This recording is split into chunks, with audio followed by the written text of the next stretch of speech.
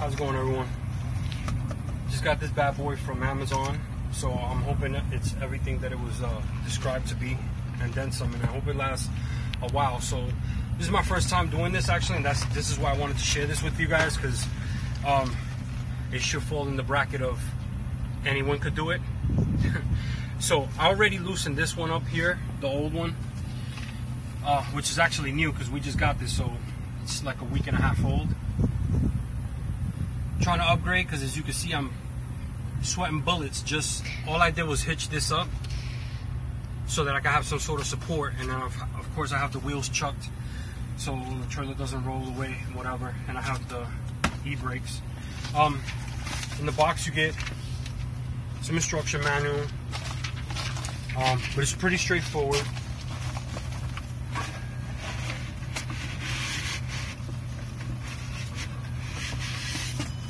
jack itself.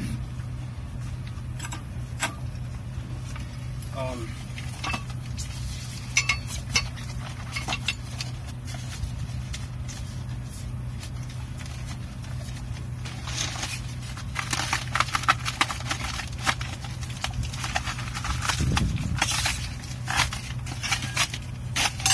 Okay, so you got the, in case you lose power, you can pull up the jack yourself, right? Which is great. That comes along with. So I will clean up my mess. And I'm gonna need a razor. So it does come with the star washers so that you, because there is no negative, there's just a positive. So uh, these star washers are dig into here and become a ground. And um, hey, let me get my razor. Fuse is built in line.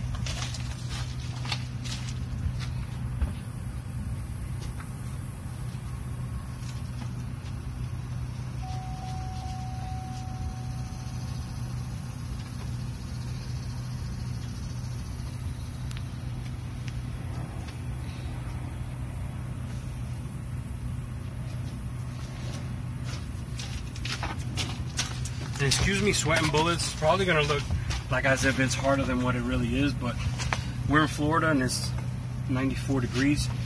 So smart. Alright. Pick up all my washes before I lose them. Three and three. But actually I thought I had to buy these and I don't. Which is great.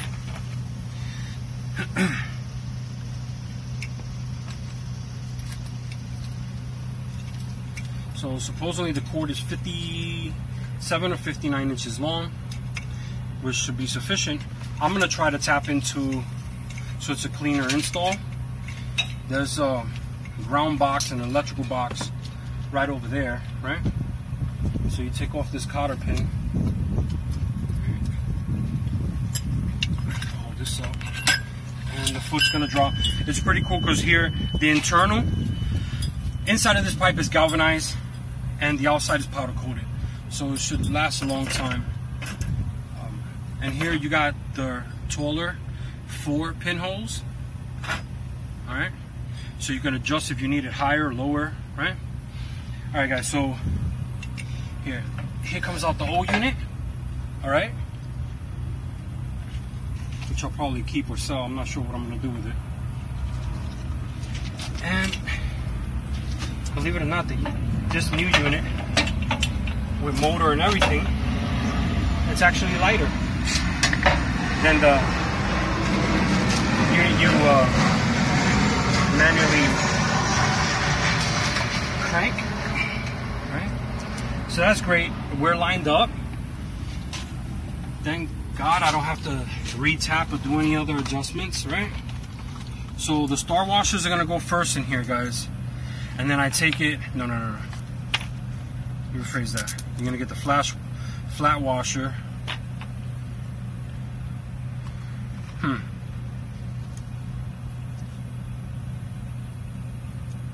So I think I see everybody always put it on the outside. And I'm starting to think this washer is probably for the top. This star washer is to scratch the powder coat on purpose so that it makes a positive ground. Hmm. I don't know if one goes on the bottom so it gets crushed. let's go ahead and do it this way. Just want to make sure there's a ground anyway. I'll be the, the lab rat to touch the the camper before anybody else so that my children and my grandbabies don't get electrocuted.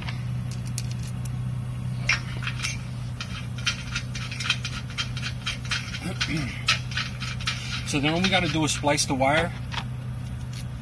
Uh, that one went backwards. So you got to make sure that at least one of these makes uh, contact with the coach.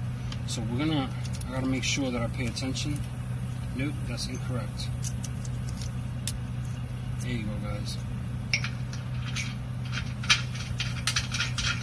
Excuse me trying to rush through this video and sweating bullets. But we literally went to Walmart, did groceries, and then came over here banking that this shouldn't take an eternity. So, my wife is over there smiling at me. She's like, yeah, right.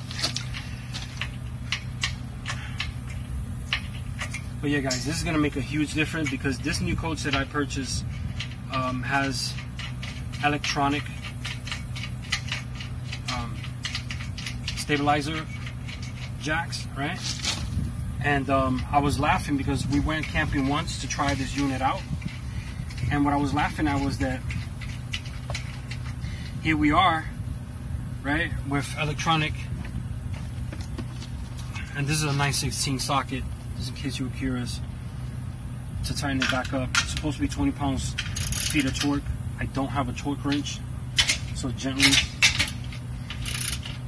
tighten each one up. Okay.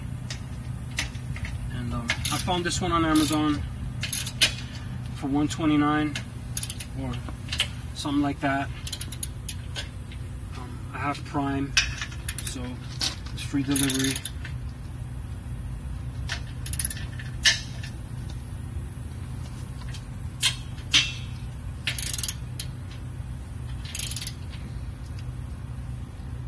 And my um, new bolts came out.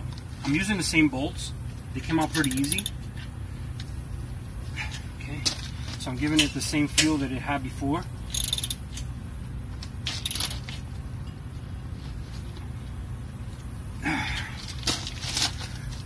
So that should be great. And these are galvanized washers or zinc coated, whatever. All right, guys. So now take my cable. And what I forgot to buy was uh, some zip ties. And I could have sworn in the back of my truck with all this junk. I had a, a splice tool.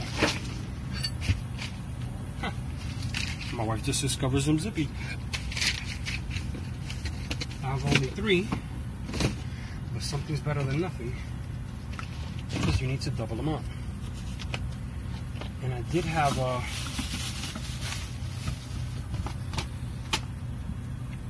wire splicer back here.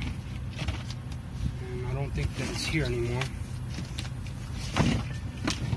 Oh, guys, this, I'm sorry, but this is pretty awesome. So I got a leveler, even though this has nothing to do with the jack. I got this leveler at Camping World. 13 bucks and it's capable of holding 35,000 pounds. So that's pretty cool because I always use these stupid blocks to get me up. All right. I'm just gonna go ahead and use this razor and um, yeah, that'll teach me to have a mess in the back of my truck, right?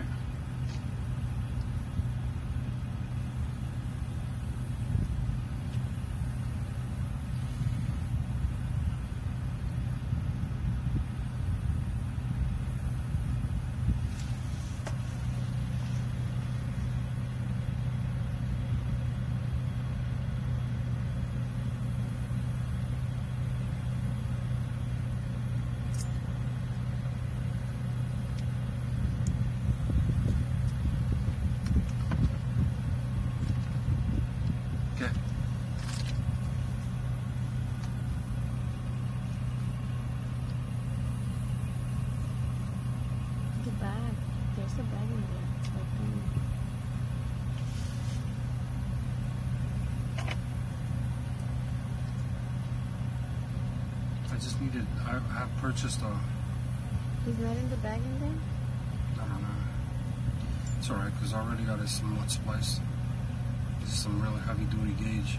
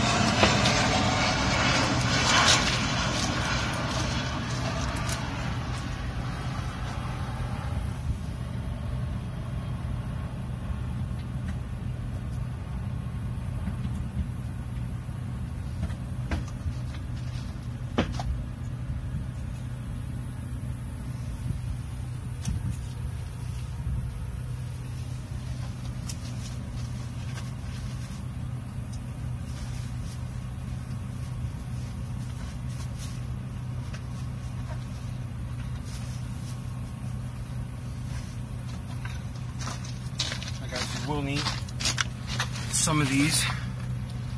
You can get them anywhere Walmart, Home Depot. I got them at Walmart for like two bucks, so.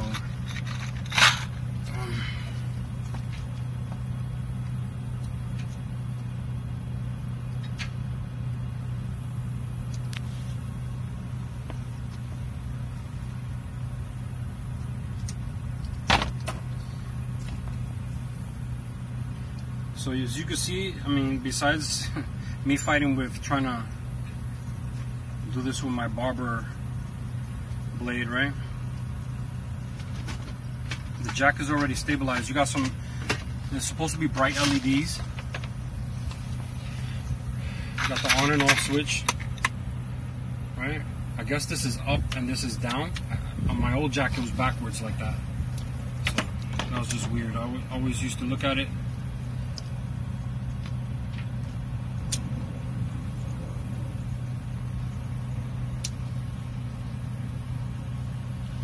This was already soldered, but I just wanted a little bit more better contact.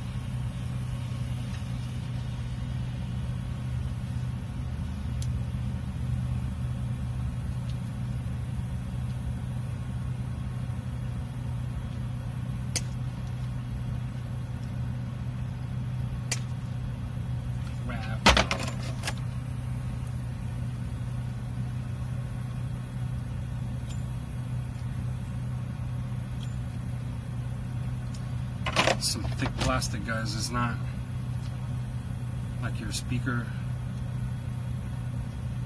There you go.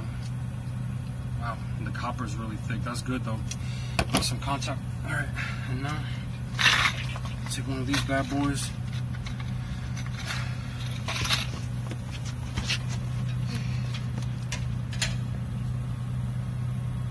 Put it in like so. See? It was just that little silver tip, which would have probably been ample, but. hmm. So on these, you're supposed to squeeze first one side.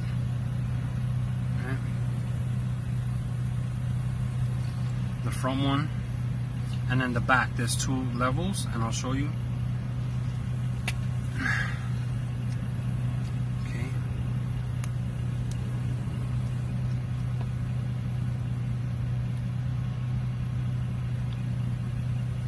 Oh no, I just broke this cover.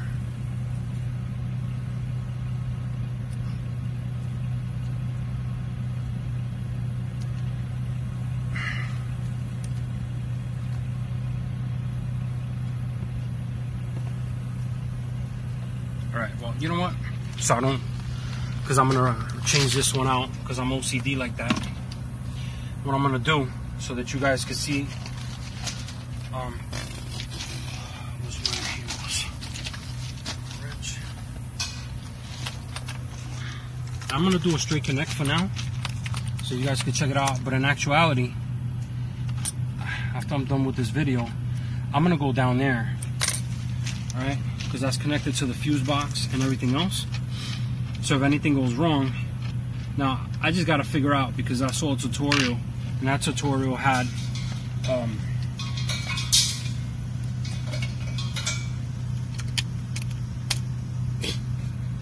wow. I guess you guys will be following me to the next new clip. I apologize for the delay. If you guys don't get bored with this video.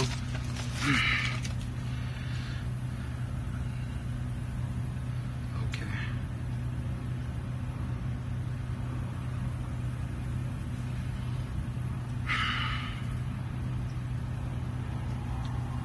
Yeah, see it has two levels. There's a short, smaller, and then a big, and it's telling you on the instruction manual to these clips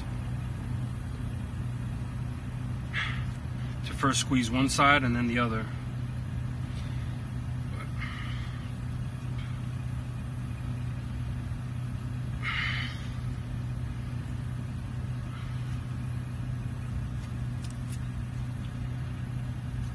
I'm gonna have to make a definitely a more solid connection than that.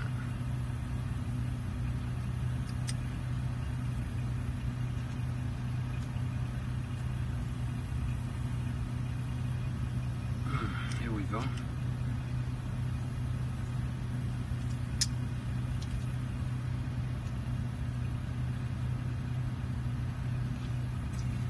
So it's gonna appear like this is the hardest part. Connecting the the O-ring so you could connect it to the battery. Because as you can see, I don't lock this puppy in. It's solid, not going anywhere. Tighten this up for a positive, uh, stronger contact. And you see, this is what the, the dealer uses, but he has a better crimping tool than what I have. All I have is a small pair of pliers with no leverage, so whatever works, right? And I'm gonna run this on the other side. And I'm also today I was gonna try to install the sway control arm. So we'll see guys. Keep your fingers crossed. It goes pretty smooth. Okay. It also so I remind you they say not to what I was just about to do operate without this foot so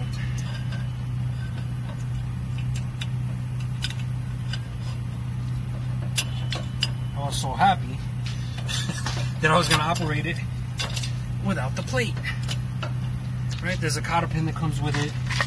Put this board, this one fit. Have a little bit faster. And now, a moment of truth. Let's see if she lifts up. Okay, the trailer and my truck at the same time. Here we go, guys.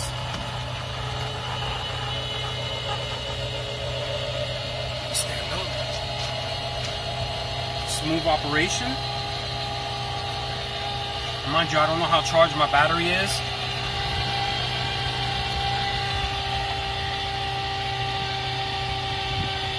Yeah, this is great, guys. So my days of sweating bullets are over, and I highly recommend this. It's smooth. It's smoother than the old one that I had. I forgot the brand, and this one's a Ram, 3,500 pound capacity. All right, electric, A-frame jack, and it fit perfect on here, guys. So if you have an A-frame, it fits perfect. You can find this on Amazon. Right, it was like 129. I, I there was a sale and it had you know if you guys got prime i think even if you don't have prime it's free shipping because it's over 100 bucks so um you guys check it out and here the leds i don't eh, it has like three pure white leds like 500 lumen i'm guessing it has a slight yellow hue. I'll go with 60 6500 lumen.